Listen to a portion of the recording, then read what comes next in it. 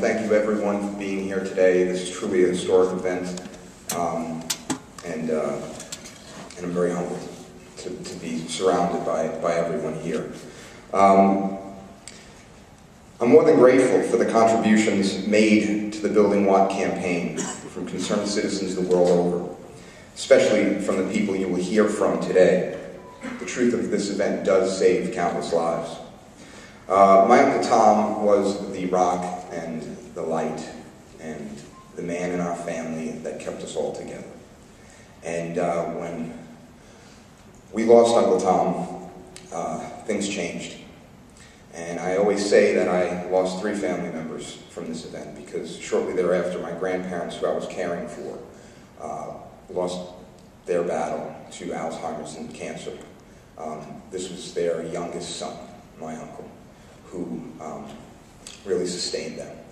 So um, this, my uncle's murder has far-reaching effects um, on my family, but also on families throughout the world. Um, these actions are about family. Uh, yours, mine, countless others, really the human family. Uh, what we're doing is ensuring the safety of our loved ones, friends, neighbors, our communities by revealing the details of what happened on September 11th, a crime that continues to be investigated daily by researchers, uh, scientists, some journalists, and so many from a vast range of disciplines. We are truly changing perceptions as well as correcting the public record. Ultimately, we are changing the world for the better. For the record, I was a card carrying Republican who believed the government's story for years. I was also in the Air Force Public Affairs. Uh, I won the highest award at the base, uh, primarily for uh, editing the base newspaper at, at the last uh, place I was stationed at. This is a reason why I really didn't grasp what really happened on September 11th for so long.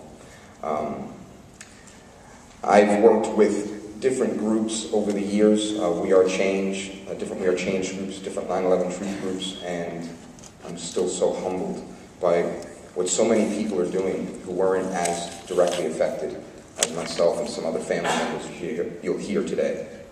Uh, just this past anniversary, we set up a third beam of light to represent uh, WTC 7, uh, blocks north of the World Trade Center site. It had a profound effect on those who witnessed such a simple yet inspiring action. Uh, this event here today will do the same. Working with the local government in New York City, we continue to reach out to council members and ask for hearings about Building 7. And we need to reach out to the citizens of New York City and raise awareness about this part of the unsolved crime. We are succeeding. And the reason is because of the tireless efforts not only of tireless efforts, but more importantly from the support of everyone who has donated to this cause. I want to thank everyone who has donated, and I want to ask everyone to continue to donate what you can so we can continue uh, to get the word out and get vital information to the public. Um, I want to mention we can talk all we want about fires or explosives, or we can speculate or theorize, though the basic fact of free fall explains it all. Governments lie, people lie, the laws of physics do not. We're getting, empir- we're, and we're getting this empirical evidence into people's homes, uh, where it should have been for the past 10 years.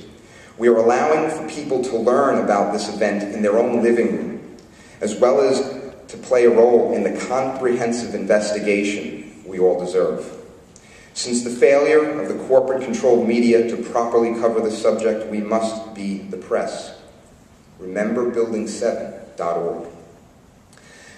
At Ground Zero, which I am often at on Saturday mornings, handing out free information uh, to people, uh, citizens as well as tourists, it's amazing how uh, Europeans and people from outside the country know so much more about the events.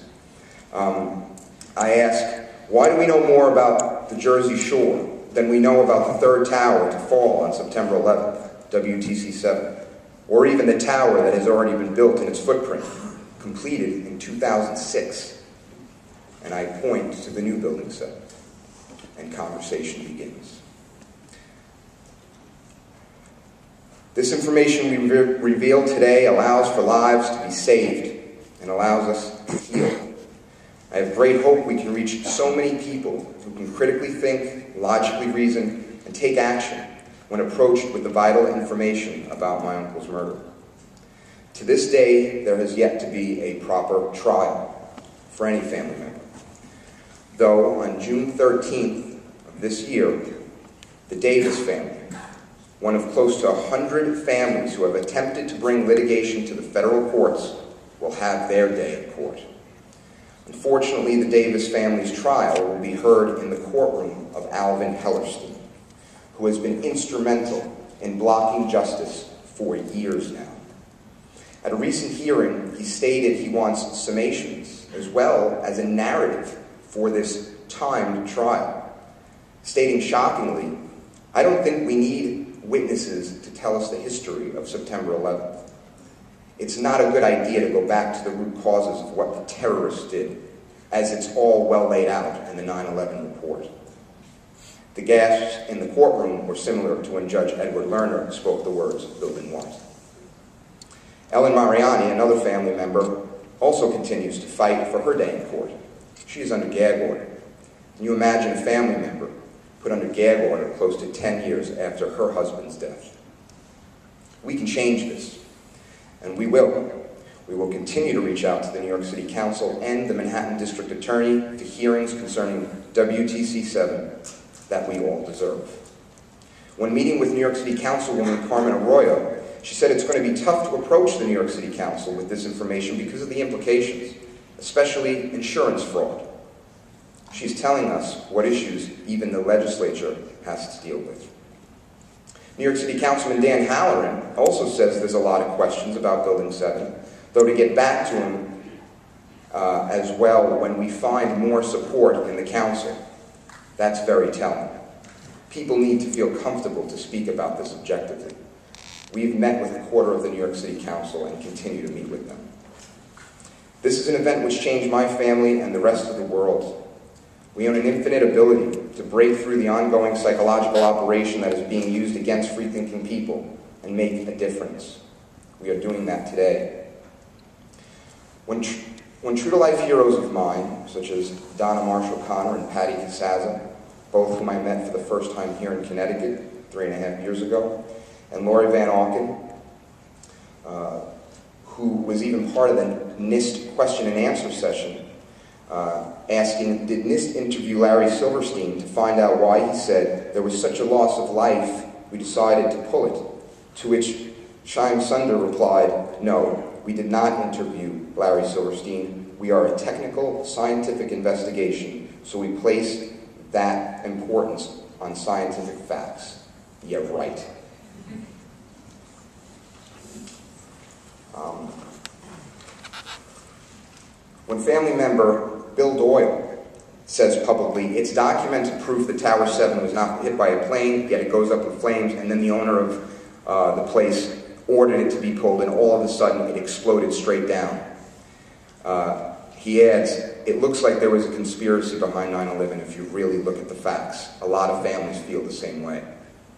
When family member Michelle Little says we must hold those involved accountable for this atrocious tragedy, my brother David and 10 brothers from his unit were murdered on 9 11.